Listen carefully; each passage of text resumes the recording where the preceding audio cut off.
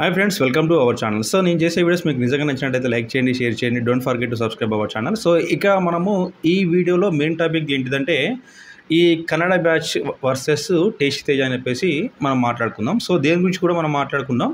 So morning ఒక మనకు ఒక ఈ నామినేషన్ సంబంధించినటువంటి ఒక ప్రోమో రిలీజ్ అయింది. సో ఆ ప్రోమోలో సో ఫస్ట్ హైలైట్ ఏంటంటే నిఖిల్ వచ్చేసి తేజాను నామినేట్ చేయడము దాని ద్వారా వాళ్ళిద్దరి మధ్యలో ఆర్గ్యుమెంట్ జరిగింది. బట్ ఆ ఆర్గ్యుమెంట్ ఎందుకు జరిగింది? అంతలా సీరియస్ ఎందుకైంది అనేది మనము ఇప్పుడు మనం మాట్లాడదాం. ఎందుకంటే లైవ్లో ప్రజెంట్ ఇన్సేపు ఇదే జరిగిందనమాట సో నేను అంతకుముందు కూడా ఆ ప్రోమో గురించి నేను నా వర్షన్ చెప్పేసా. సో యాక్చువల్గా ఏంది?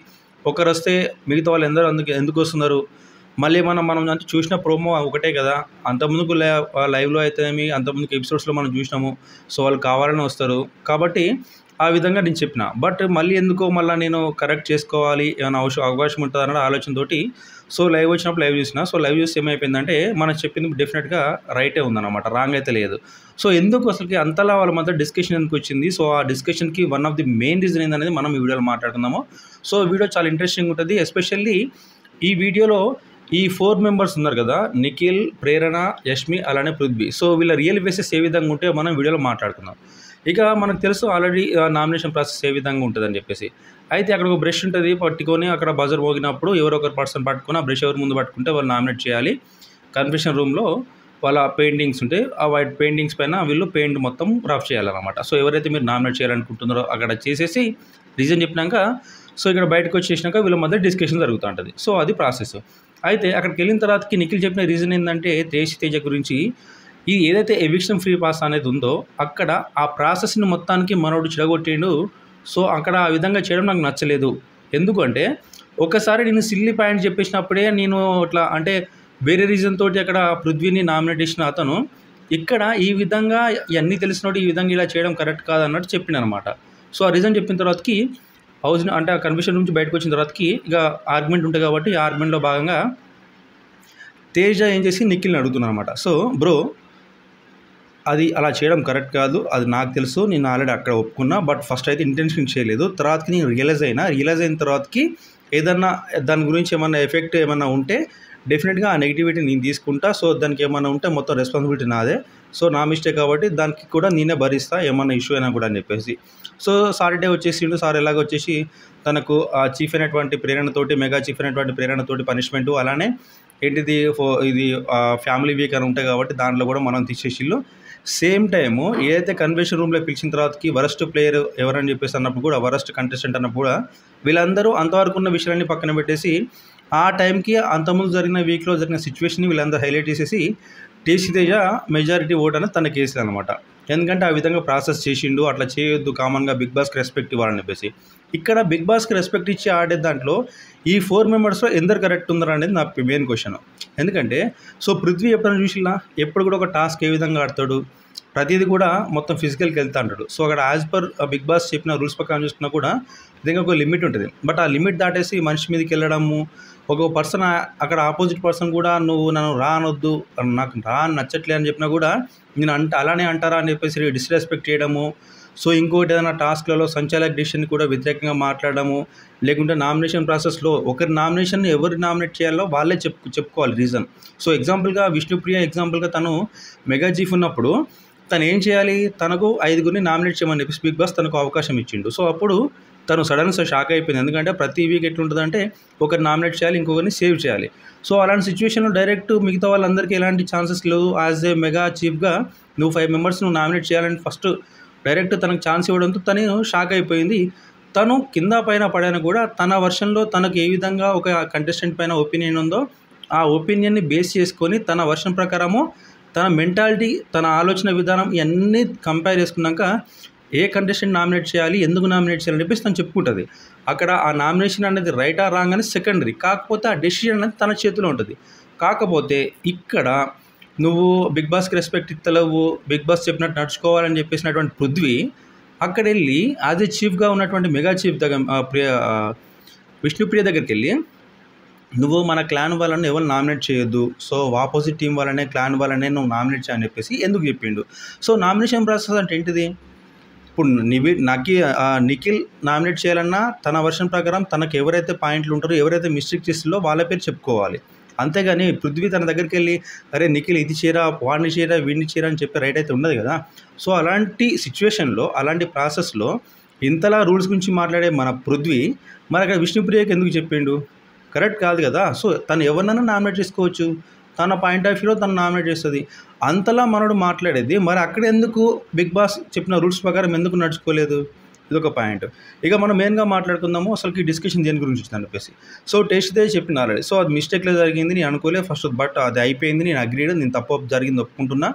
సో ఏదైనా ఉన్నా మొత్తం నేనే భరిస్తాను చెప్పిండు. దాని ప్రకారం తన దానికి దానికి చేసిన పనికి డెఫినెట్గా అక్కడ పనిష్మెంట్ అయితే తీసుకున్నాడు.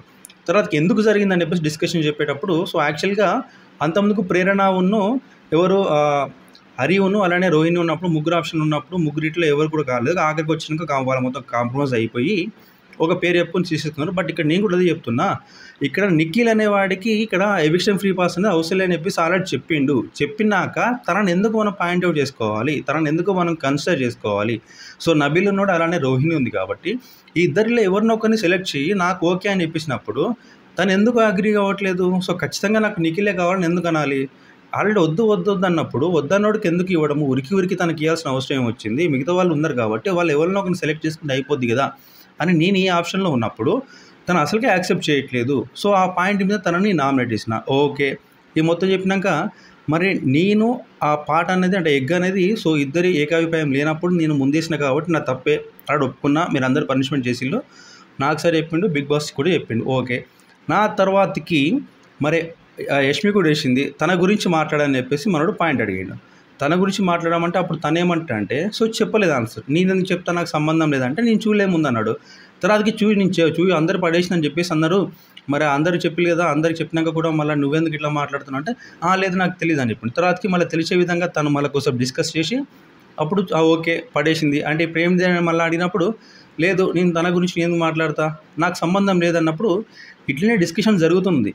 నాది తప్పు అంటున్నావు కానీ నా తర్వాత వేసిన తను కూడా. ఎందుకంటే ఇక్కడ ఏకాభిప్రాయంతో వేయాలి ఫస్ట్ నేను వేసినా నేను అగ్రీ నేను తప్పని ఒప్పుకుంటున్నా మరి సెకండ్ తను ఎందుకు వేసింది సో ఆమె కూడా తప్పే కదా. సో తప్పా కాదా చెప్పని చెప్పేసి. అంటే మనోడు చెప్పాడు అసలుకే చెప్పాడు. ఏమంటాడు? సో నాకు సంబంధం లేదు. ఆమెను అడుగు ఆమెను అడిగినప్పుడు సో తర్వాతకి ఆమెను కూడా మళ్ళా. ఇక్కడ యష్మిని. యష్మి నువ్వు ఎగ్గేసినావా వేయలేదా చెప్పి అన్నప్పుడు ఎగ్గేసింది ఆమె కదా. మరి చెప్పాలి కదా. నేను ఎగ్గేసినా.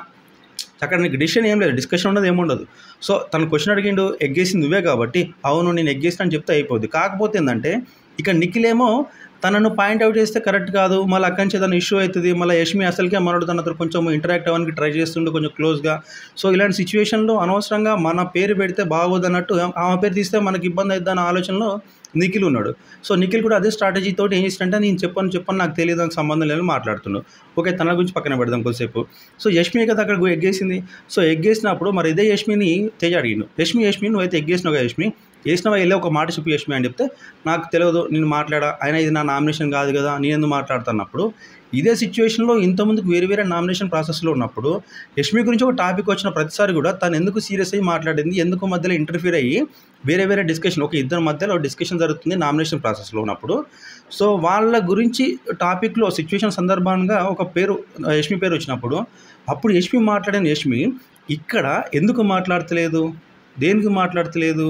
ఎందుకు నిఖిల్ని సేవ్ చేయనిక లేకుంటే నిఖిల్ ఆల్రెడీ నిఖిల్ అక్కడ యష్మిది తప్పని చెప్పకుండా స్కిప్ కొడుతున్నాడు సో ఇలాంటి టైంలో మళ్ళీ యష్మి నేను ఆల్రెడీ ఎగ్గేసిన అని చెప్పినప్పుడు ఇగో యష్మి ఆల్రెడీ చెప్తుంది కదా ఎగ్గేసిన అని చెప్పేసి మళ్ళీ నీకు ఇంక వచ్చిన ఇబ్బంది ఏముంది? మరి ఎప్పుడైనా చెప్పవచ్చు కదా తను నా తర్వాత ఎగ్గేసినాక మళ్ళీ తను వేసింది కదా ఇప్పుడు నువ్వు ఎందుకు చెప్పావు అని చెప్పేసి అంటే అప్పుడు ఇక్కడ నిఖిల్ మళ్ళీ క్వశ్చన్ మార్కులు అవుతుంది. అది తను కూడా ఇబ్బందిలో పడతాడు. ఎందుకంటే ఇప్పుడు ఖచ్చితంగా ఆన్సర్ చేయాలి. ఇప్పటివరకేమో స్కిప్ కొట్టి నాకు తెలియదు అని చెప్పేసి లేకపోతే మిగతా వాళ్ళందరూ హౌస్మేట్స్ అందరూ చెప్పిల్గా అని చెప్పేసి అంటే ఇక్కడ పృథ్వీ వచ్చేసి ఉంటాడు కదా తనకు నమ్మకం లేదు కావచ్చేమో అందుకని చెప్తలేడు అంటాడు. అరే ఇక్కడ నామినేషన్ జరిగేది ఇక్కడ నిఖిల్కును ఇక్కడ ఎవరికి తేజకు? అంతే కదా? ఆ మధ్య పృథ్వీ ఎందుకు వచ్చిండు? పృథ్వీ వచ్చి ఇంటర్వ్యూ మొత్తం మధ్యలోకి ఇంటర్ఫీర్ అవుతా అంటాడు సో ఇది డిస్కషన్ బాగా జరిగింది. డిస్కషన్ జరిగినకి ఇక నువ్వు అందుకే నాకు అర్థమైపోయింది నువ్వు ఆమె అంటే భయం నీకు ఆమె అంటే భయం అన్నప్పుడు హీటెడ్ డిస్కషన్ జరిగింది. భయమే మరి భయమే కదా. మరి నువ్వు భయం అయినప్పుడు కదా నువ్వు చెప్పట్లేవు. ఎందుకు చెప్తలేవు? నువ్వు చెప్పు చెప్పు చెప్పు అని చెప్పేసి అంటే నేను చెప్పాను నేను చెప్పాను అన్న తర్వాత అట్లనే డిస్కషన్ జరిగింది. డిస్కషన్ జరిగిన తర్వాతకి ఇక మా డైరెక్ట్ అన్నాడు. సో ఆమె తప్పే. కానీ నీతో కంపే ఆమెతో కంపారిజన్ నీది పెద్ద తప్ప అని మళ్ళీ పాయింట్ ఒక పాయింట్ తీసింది. పాయింట్ తీసినప్పుడు అనగా ఓకే కరెక్ట్ ఇప్పుడు ఒప్పుకున్నావు కదా తప్పైతే ఒప్పుకున్నావు అంటే లేదు లేదు నేను ఎందుకు మాట్లాడినా? ఇదే తప్పు. ఆమోదించా నాకు సంబంధం లేదు. నేను ఎందుకు మాట్లాడతా? సో నువ్వు వేరే టైంలో ఉన్నప్పుడు నువ్వు నామినేషన్ అందుకు ఒకసారి పృథ్వీనికి ఇట్లనే సో నామినేషన్ ప్రాసెస్ ఉన్నప్పుడు తను సిగరెట్ తాగుతున్నా అని చెప్పేసి స్మోక్ చేయడానికి వెళ్ళినప్పుడు నువ్వు నామినేట్ చేసినావు సో అప్పుడు మిగతా హౌస్ మేట్స్ ఇక్కడ లేరు. బట్ అదే రీజన్తో తను నామినేట్ చేసినావు మరి నువ్వు అప్పుడు ఎందుకు మాట్లాడలే? అప్పుడు నేను అడుగుతాను నువ్వు ఎందుకు లేవు అని చెప్పినావు. నాకు సంబంధం లేదు. ఎందుకు మాట్లాడినావు? ఇప్పుడు నేను అదే విధంగా మాట్లాడుతున్నాను మాట్లాడితే అప్పుడు నిన్ను అంటే అప్పుడు నన్ను పృథ్వీ అడుగుతా నీకు సమాధానం చెప్పటం నన్ను పృథ్వీ అడగలేదు. సో పృథ్వీ నాకు సంబంధం లేదని చెప్పిన తను అడిగినప్పుడు ఎందుకు ఇట్లా మాట్లాడుతున్నావు? నువ్వు చూసినావు అని చెప్పేసి అంటే అప్పుడు నేను సమాధానం బరాబర్ చెప్తాను బట్ అక్కడ నన్ను అడగలేదు కాబట్టి నేను చెప్పలేదు. ఇక్కడ నిన్ను అడుగుతున్నాను నువ్వు చెప్పని చెప్పేసి అంటే నేను చెప్పాను నాకు సంబంధం లేదని మాట్లాడుకుంటే ఆ స్కిప్. సో మెయిన్గా ఏంటంటే నిఖిల్ వచ్చేసి యష్మి తప్పు చేసిందని అందరికి తెలుసు. ఎందుకంటే ఆల్రెడీ ఒకసారి ఏకాభిప్రాయంతో ఎగ్ అనేది ఆ పామ్కి ఇవ్వాలి. అక్కడ ఏకాభిప్రాయం కుదరకపోవడము ఫస్ట్ మనోడు వేసి తొందరపడి వేసిండు. So mistake. ఇది అక్కడితో అయిపోతే అయిపోయేది. మళ్ళీ యష్మి వేసిందంటే ఎందుకంటే ఆల్రెడీ మా వాడు ఒకటి పంపించాం కాబట్టి ఇప్పుడు నీ వాళ్ళని కూడా పంపిస్తా మీ వాళ్ళని కూడా నేను ఇక్కడ తీసేస్తా మీ వాళ్ళని కూడా ఇక్కడ మైనస్లో నెట్టేస్తా అన్న ఆలోచనే కదా యష్మిది కూడా. ఎందుకంటే ఇప్పుడు నిఖిల్ ఎగ్గేమో తేజ తీసిండు. ఎందుకు తీసిండు? తనకు ఆల్రెడీ ఎవిక్షన్ ఫ్రీ పాస్ అనేది అవసరం లేదని చెప్పేసి ఆ షీల్డ్ అనేది అవసరం లేదన్న ఆ ఆలోచన విధంగా ముందు డిస్కస్ చేసిండు యష్మితోటి. బట్ అంతకుముందుకి హరితేజ యష్మి ఇద్దరు మాట్లాడుకుని ఏం మాట్లాడుకున్నారు? సో తను ఎంత చాలా లాజిక్గా మాట్లాడతాడు బట్ ఆ లాజిక్కి నువ్వు అసలుకే నువ్వు ఒప్పుకోకు.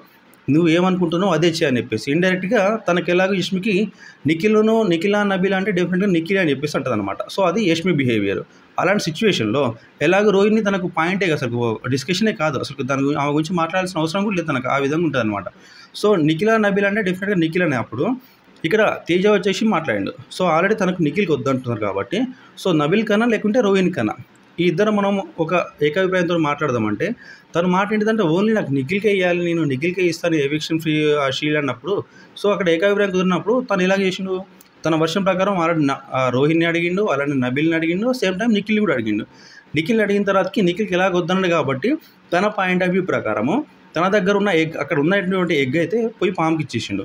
అప్పుడు తప్పు. ఎందుకంటే ఏకాభిప్రాయం కుదరనప్పుడు వేయడం తప్పు. కాకపోతే వేసిన విధానం అనేది ఎందుకు వేసిండు? అక్కడ రైట్ రాంగ్ అంటే తనకి ఇష్టమున్నా అలా వేస్తే తప్పది. తనకు ఎలాగో ఆ షీలి మీద పెద్ద ఇంట్రెస్ట్ లేదని చెప్పేసి చెప్పింది కాబట్టి అంతమందికి హరితేజకును రోహిణికి డిస్కషన్లో కూడా సేమ్ అదే. సో హరితేజ కూడా ఇట్లా నేను నిఖిల్కే ఇస్తా నిఖిల్కే ఇస్తా అని చెప్పేసి అన్నది. అప్పుడు రోహిణి నేను వేరేటోళ్ళకి ఇస్తా వేరేటోళ్ళకి ఇస్తాను తర్వాతకి అక్కడ ఏకీభాయం కుదరక సో ఏం చేసిళ్ళు మళ్ళీ నిఖిల్ నుంచి అక్కడ శివ అక్కడ అవినాష్ని అలా ఎగ్ ఎగ్గేసిళ్ళు సేమ్ మళ్ళీ ఇదే సిచ్యువేషన్ జరుగుతుందని చెప్పేసి ఆలోచనతో ఇక్కడ ఈ- ఈయన వేసిండు అనమాట ఎవరు? తేజ వేసిండు. ఎగ్గు నిఖిల్ది. అప్పుడు మరి తను ఎందుకు వేసింది? ఏమకంటే ఓకే. మరి ఇప్పుడు రోహిణి ఎందుకు వేసింది? సో మావాడు ఆల్రెడీ పోయిండు. కాబట్టి ఇప్పుడు నీ వాళ్ళు పోవాలి. సో ఈ కాన్సెప్ట్ విధానంగా ఈ ఏదైతే ఓజీ అండ్ రాయల్ క్లాన్ అనేది ఒకటి ఆల్రెడీ స్టార్ట్గా వీళ్ళు వచ్చిన నుంచి ఉందో ఇప్పుడు టీమ్ వైజ్గా వీళ్ళు డివైడ్ అయిపోయి గేమ్ ఆడుతున్నారు. But end of the day వీళ్ళు ఏం చేస్తారంటే మనందరూ వీళ్ళందరూ ఒకటే. ఏ క్లాన్ వల్ల ఆ క్లాన్ లెక్కనే. బట్ ఇక్కడ ఈ ఓజీ క్లాన్ అని ఏం చేస్తున్నారంటే వాళ్ళు ఎప్పుడైనా అంతే. సో ఈ కెనడా బ్యాచ్ ఎస్పెషల్లీ అందులో నబీల్ ఉంటాడా విష్ణు ఉంటుందా పక్కన పెట్టేసారండి వాళ్ళ సిచ్యువేషన్ సందర్భం అంటే సిచ్యువేషన్ వచ్చినప్పుడు అట్లా వచ్చేసి పోతాను పాసింగ్ లోడ్స్ లేకుండా అనమాట వాళ్ళు. పెద్దగా వాళ్ళ ఇంటరాక్షన్ ఎక్కువగా ఉండదు. బట్ ఎక్కువగా ఈ బాండింగ్ అనేది వీళ్ళు ఫోర్ మెంబర్స్లోనే ఇంకొకటి ఇక్కడ ఇప్పుడు నవ ఇక్కడ ఈ డిస్కషన్లో పృథ్వీకి సంబంధం లేదు కదా వీళ్ళిద్దరి మధ్యలో మాట్లాడుకుంటున్నారు. సో అక్కడ యష్మి గురించి ఎందుకు టాపిక్ వచ్చిందంటే యష్మి కూడా తను చేసింది కాబట్టి దాని గురించి జస్ట్ ఒపీనియన్ అడుగుతుండు తేజ. బట్ ఆ ఒపీనియన్ కూడా చెప్పుకోలేని సిచ్యువేషన్లో నిఖిల్ ఉన్నాడు ఆడ ఓపెన్ ఆల్రెడీ ఎక్స్పోజ్డ్. సో తనకు భయపడుతుందా? లేకపోతే తనకు ఒకవేళ డిసిషన్ చెప్తే మళ్ళీ యష్మి నుంచి ఎలాంటి ఇష్యూ అయ్యొద్దా అని చెప్పేసి ఆ విధంగా ఆలోచనతోటి చెప్పట్లేడు ఆన్సర్ చెప్పట్లేడు. సో ఈ టైంలో పృథ్వీ ఎందుకు రావాలి? రావాల్సిన అవసరం లేదు కదా? ఇక్కడ నామినేషన్కి ఇక్కడ తేజకు నిఖిల్కి ఉంటే పృథ్వీ ఎందుకు రావాలి? ఇక్కడ పేరెంట్ వచ్చేసి ఇక్కడ రోహి రోహిణితో అలానే అవినాష్తో మాట్లాడుతుంటుంది. ఏ విధంగా మాట్లాడతా అంటే ఇప్పుడు నీకు నాకు నామినేషన్ ప్రాసెస్లో డిస్కషన్ ఉన్నప్పుడు మన ఇద్దరం మనం మాట్లాడుకోవాలి. వేరేల గురించి మనకు అవసరం లేదు కదా ఆ సిచ్యువేషన్ మొత్తం రాంగ్ రూట్లో పోతుంది కానీ అని చెప్పేసి అని మాట్లాడుతుంది. అప్పుడు అవినాష్ కూడా అన్నాడు ఒక మాట అన్నాడు ఏమనంటే ఇక్కడ ఈ సిచ్యువేషన్కి వేరే పర్సన్ తీసినప్పుడు ఆ పర్సన్కి సిచ్యువేషన్ సిచ్యువేషన్కి సంబంధం లేకుంటే డెఫినెట్గా అది రాంగ్ వేలో పోతుంది. కాకపోతే వీళ్ళు మాట్లాడే దాంట్లో అక్కడ యష్మి కూడా పార్ట్లో ఉంది కాబట్టి ఖచ్చితంగా తన గురించి మాట్లాడడం తప్పేం లేదు. సో అలాంటి టైంలో జస్ట్ ఒపీనియన్ అడుగుతుండు. ఒకవేళ ఒపీనియన్ చెప్పే అంత ఓపుకుంటే చెప్పు లేకపోతే వాడు ఎంత అడిచినా కూడా చెప్పాల్సిన అవసరం లేక అని చెప్పేసి కూడా మాట్లాడుతుండే. సో ఆఖరి డిస్కషన్ బాగా జరిగింది మొత్తం అయిపోయింది. తర్వాతకి ఫ్లోలో మనోడు అంటే మీరు అందరూ ఒక గ్రూపిజం లెక్క ఆడతారు ఫేవరెట్ మీరు ఒకరు ఉన్నారు మీ వరకు ఆడుతున్నారు సో నా మీద గుట్టే ముగ్గురు ముగ్గురు వస్తున్నారు అని చెప్పేసి తేజ మాట్లాడిన సో తేజ మాట్లాడిన మాటలు అప్పటికే ఇక్కడ పృథ్వీతోటి డిస్కషన్ జరిగింది. సో తర్వాతకి వచ్చేసినాక మీది మీదకి వచ్చుకుంటా దమ్ముంటే ఆ ముగ్గురు పేర్లు చెప్పు సో ముగ్గురు పేర్లు చెప్పు నీకు దమ్ము లేదు నువ్వు భయపడుతున్నావు అని చెప్పేసి అంతలా టార్గెట్ చేయాల్సిన అవసరం ఏమొచ్చింది? ఇక్కడ నామినేషన్కి ఎవరికి ఎవరు జరిగింది? నెక్స్ట్ నిఖిల్ వచ్చేసి మళ్ళీ విష్ణు దగ్గరికి సారీ యశ్మి దగ్గరికి వెళ్ళి చెప్తారు కదా. సో అక్కడ మాట్లాడింది నిఖిల్ అక్కడ నబీల్ మాట్లాడలేదు. సో ముగ్గురు పేరు అని చెప్పిండు కాబట్టి ఒకటి విష్ణు మాట్లా ఒకటి పృథ్వీ మాట్లాడిండు. సో నెక్స్ట్ సెకండ్ నేను మాట్లాడినా. సో ఆ మూడో పర్సన్ డెఫినెట్గా నువ్వే నువ్వే మాట్లాడాలి యష్మి. ఇప్పుడు మా ఇద్దరు సపోర్ట్ అయిపోయింది మా ఇద్దరి డిస్కషన్ అయిపోయింది.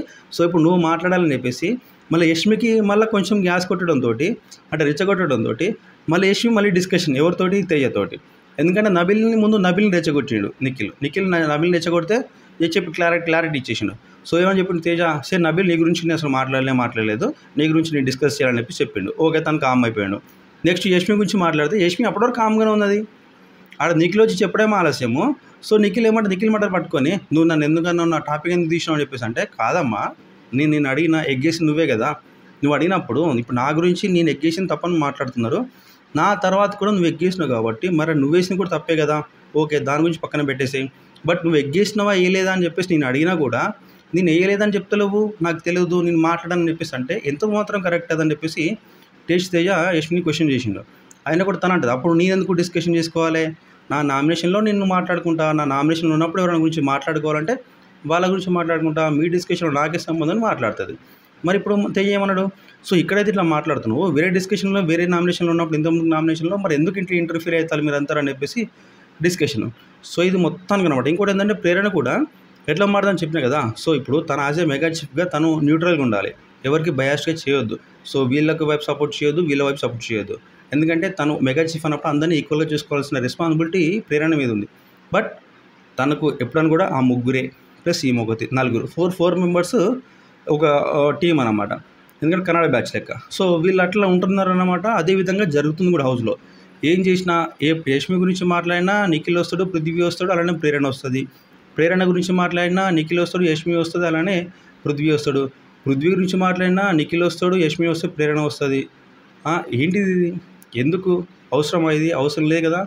సో ఇది నేను చెప్పాలనుకున్న వీడియో అనమాట సో వీళ్ళు ఈ విధంగా బిహేవ్ చేసుకుంటూ అక్కడ డిస్కషన్ జరిగింది కామన్గా మాట మాట. సో దీన్ని యష్మిగా హైలైట్ చేసింది. సేమ్ టైం మళ్ళీ పృథ్వీ వచ్చేసి పెద్ద ఇష్యూ చేసిండు. ఇక్కడ అసలు పాయింట్ ఏంటిది అనేది కూడా చెప్పలేకపోయిన సిచ్యువేషన్లో ఉంది అక్కడ. సో తను చేసిన తప్పును తను ఒప్పుకున్నప్పుడు సేమ్ టైప్ తప్పు కూడా ఎమ్మటే జరిగింది కాబట్టి దానిపైన నీ ఒపీనియన్ చెప్పమంటే నిఖిల్ ఎందుకు ఇంతలా వెనుక అడిగేసుకుంటూ నాకు సంబంధం లేని మాట్లాడడం అనేది కరెక్ట్ కాదు. సో అదే నేను అడుగుతున్నా. మరి మీ ఒపీనియన్ ప్రకారము మరి నిఖిల్ నిజంగా యష్మికి భయపడుతుందా? అలానే ఏదైతే ఈ ఫోర్ మెంబర్స్ కన్నడ బ్యాచ్ మనం అందరం అంటున్నామో సో ఇది నిజంగా వాళ్ళ బిహేవియర్ అనేది రోజు రోజుకి మరీ టూ మచ్గా పెరుగుతుందా అనేది లేదా? లేకుంటే మీకు ఏమైతే మీ ఒపీనియన్ కింద కామెంట్ చేయండి. సో వీడియో మీకు నిజంగా నచ్చినట్టయితే లైక్ చేయండి షేర్ చేయండి. Don't forget to subscribe our channel